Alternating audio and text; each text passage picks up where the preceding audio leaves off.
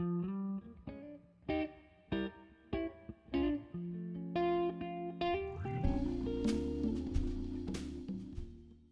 grew up in church, played music from the time I can remember. It's just what I did, and led worship from behind an acoustic guitar in more recent times as a worship leader, and then before that it was a uh, you know the wave your hand behind the podium, directing the people to sing like a choir and whatnot.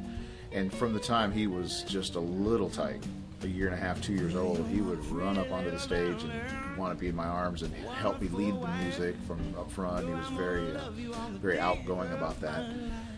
And as time went along, he became my bass player in our worship band, which was fun. It was a pretty much a highlight for me. I thought this is cool. I get to play music with my kids, you know. And then um, as time went along, he was wearing my guitar out during the week. I didn't realize how much time he was spending on my guitar at home. And eventually, our roles kind of switched, and he became a guitar player, and I decided if I was going to be able to be a part of his thing, I better go ahead and pick up the bass and get my chops up to speed. And so that's what we did. And um, from there, uh, there was a lot of years early on for him of just going to open blues jams wherever we could find places to play music and whatnot. And, and we just decided to take what we have in a great relationship as a father and son and just turn it into something that we really enjoy doing together and we do. It's a it's it's one of those things that's a highlight for both of us. I think I can speak for him on that. And, um, it's something we just enjoy. And I don't think I've ever been around another musician who I felt was more dedicated to learning not only his his craft but becoming. He just he's hungry like a lot of people aren't. Um, that's not to throw aspersions on anybody else, but it's just it's refreshing and it's it's even encouraging to me as a as a fellow musician, not just as a dad, but as a fellow musician to see somebody who's just really anxious to to make something happen. But I remember talking to my dad one time when I was pretty young, and I told him I said I don't I don't know how to explain this, but but there's something inside of me I have to get out. I don't know what it is. It's like this. It's part of me. It's it's it's in my fiber. And I and he he just looked across the. We were sitting in the truck, and he just looked across the truck at me, and I was like, "What are you talking about?" You know. And I I just I didn't know what to think about the, how he couldn't understand that. Well, fast forward a lot of years, and CJ had heard me relate that story and I remember one time we were out playing somewhere and we were on our way home after a, a, blues jam or something, and he reached over and grabbed my arm and he said, he said, you know, he said that story you used to tell about your dad and you. He said, I, I know exactly what you're talking about. And it was a it was a bond instantly that we knew. It's like, yeah, you do, and I could tell. I I think he is gifted but I think maybe the way we like to refer to that is more that he's just simply been given a gift. And it's not so much that he is anything as much as it is that it's something that's just more or less been bestowed on him. And he sees it that way, and I, I do too. I don't think that he thinks of himself as in any way above somebody else or anything like that. It's just simply that he knows that there's been something given to him and there's a responsibility that comes with that and that responsibility is to share it and let it be something that helps uplift other people and the reason to be commercial about what we're doing is so that there's more opportunity to to deliver this thing that's inside of us that needs to come out. So if we could do it and didn't have to make money because we were independently wealthy, that would be ideal. So maybe if we can sell a few tunes and sell a few shows, then we have the opportunity to really deliver the package of you know what what it is that his gift is all about.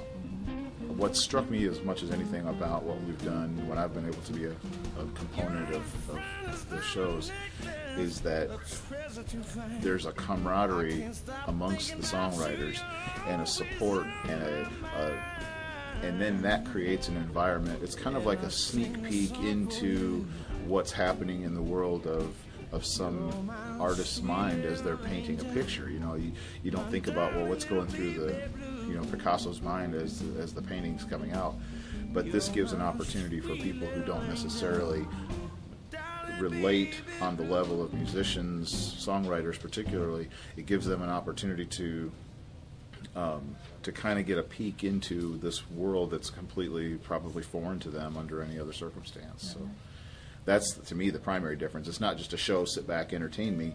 It's more, oh wow, I'm starting to understand what's happening in Jack or Diane's mind or CJ's mind when they're putting a song together. I, I get it. And I think that's part of what this is all about is, is the get it aspect. My philosophy is that 50 years ago, a hit song was comprised of a ton of talent and people recognized the talent and said, there's something cool.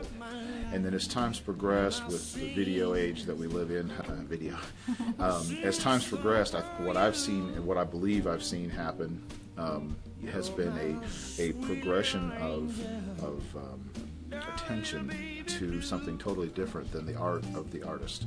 It's gone to how pretty of a face do you have? How good can you shake it? Um, how good is the videography involved? How good is the sound production?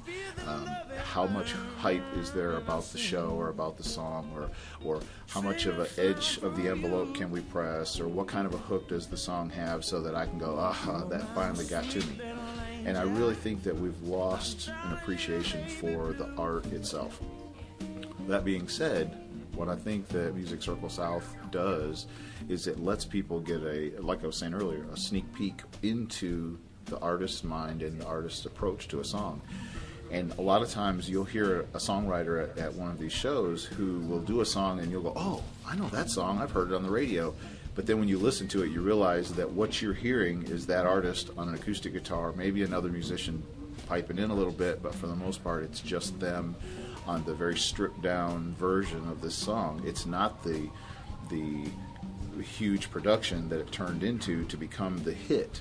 And so now all of a sudden you start to realize, well, if that song sounded so simple as a as a broken down, simplified song, I wonder what other cool songs I'm hearing in this show tonight either will be a hit or could be a hit if the same production and hype and tinsel was added to it, and that's not. I, I, don't. I don't. I just think that's what people don't get until they get to a situation like this, where and that's the connection that a songwriter's popular song from something past helps tie to something that they're doing now. The years I spent in church gave me an appreciation for somebody who just simply wanted to express their heart, and so I've sat through some pretty grueling solos by some very sweet ladies who God loved them. Somebody told them they had a talent in the singing world. But you know, in that scenario, in that church environment, grace abounds. You sit back and you go, you know what? It's who am I to judge that person for portraying their gift? And I think that there's lots of places for that outlet to happen. What's great about Music Circle South is that those same creative hearts are still in play, but what's happened is that this is a a bringing together of some of those artists who have also been given that gift that we were talking about, that that that added element. And so there's a a level of musicianship that is is a second to none, pro level, and on top of that, that total soul heart that happens when a songwriter's sincere and real about what they're doing. We're just we're just really honored to be able to be a part of uh, and have had an opportunity a time or two to be a part of Music Circle South. It's fun. Um, CJ loves to do it. We talk about it a lot, and um, it's certainly a huge departure from what we're doing on stage with with full blown amplifiers and the whole nine yards. But at the same time, it's just another avenue for that art to escape, to get out, and so that's it, it's, it's an honor. We love to do it.